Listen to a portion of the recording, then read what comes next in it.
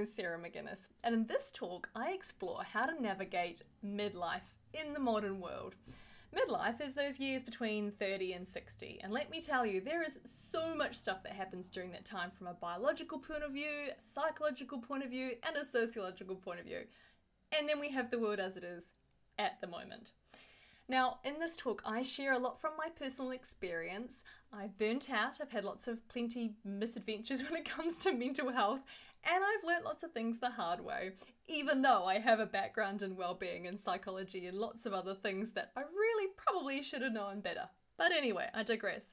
In this session, we're going to talk about what are some of those barriers, what are some of those things that lead to a satisfying life, what the evidence base tells us, but also what my work with hundreds of people all over the world tells me about well-being and where people are at. Crucially, we'll also look at some really practical strategies for you. So, what are some of the things that you can put into play day to day, week to week that will help you make a difference?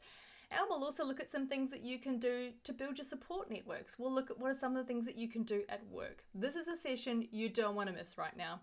Make sure you talk to the Essential Talent team, get it locked in, and I look forward to working with you and your team.